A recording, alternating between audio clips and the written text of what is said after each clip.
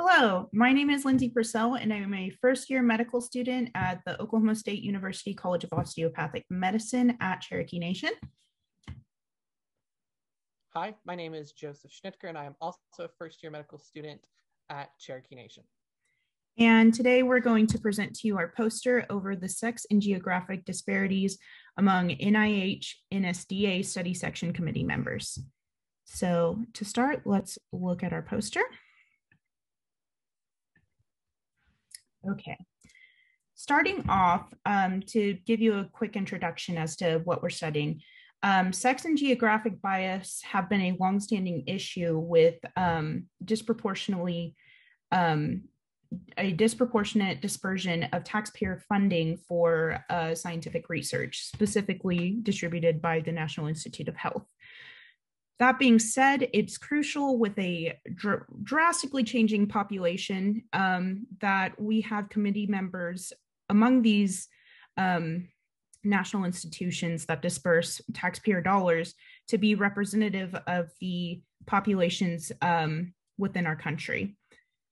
So, in our study, we were specifically looking at a particular study section of the NIH um, which is the NSDA section, which stands for Neurological Sciences and Disorder Study A, to look at the composition of the committee.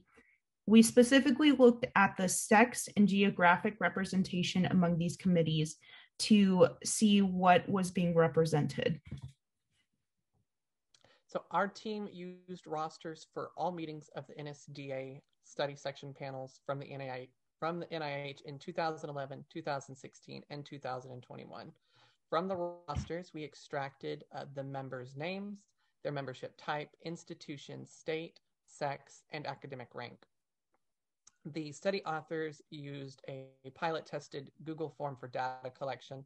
Uh, sex was determined through either a web based search or genderize.io, where a value of 0.6 was required to assign sex. Data was analyzed to detect percentages of males and females among the study section members and their respective regions, and the regions uh, are defined by the US Census Bureau for each year. So in the results sections, we see uh, that our geographical distribution is represented by the heat maps at the top, and they're rather varied. In 2011, we saw that the West and the Northeast both were represented most at 28%, followed by the West at 24% and the South at 20. 2016 showed differences with the Midwest most represented at 28%, followed by the South at 26%, the Northeast at 25%, and the West at 19. And then one thing to note in 2016 was that one committee member was uh, also from Canada and accounted for 2%. Lastly, in 2021, the distribution shifts again with the highest representation from the West at 31%, the Midwest at 26%, the South at 24%, and the Northeast at 19%. Uh, following that, sex differences are represented by the pie charts.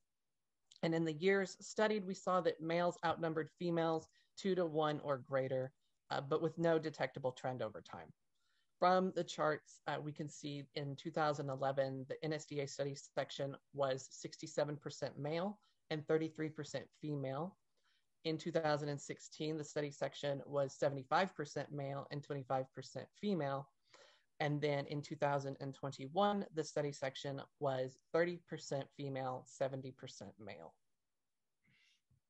So, as detected by our data, we did not see any um, noticeable trends in distribution of regional uh, disbursement um, or regional representation. Um, it was variable from year to year, and there was no detectable trend as to, to what region was better represented over others. However, the sex differences were noticeable with the majority of the committees largely being represented by male um, participants and the minority being female participants. Um, as represented by our pie charts um, listed in our data section.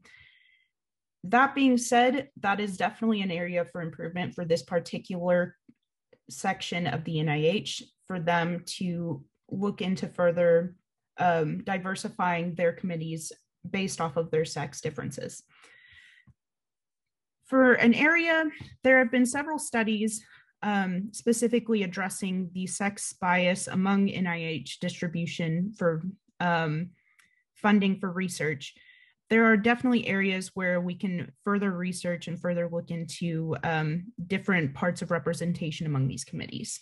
One specific area I think that needs addressing are um, representation of racial and minority groups among these committees. That's not something that we have studied, nor is it something I've seen many studies on um, pertaining to the specific committees among the NIH. And that is something um, that can further be researched as we progress forward. Um, and ensuring that these committees can be representative of um, a more holistic picture of the United States and the populations that we represent. So that's all we have to present today, and we appreciate your time. Thank you.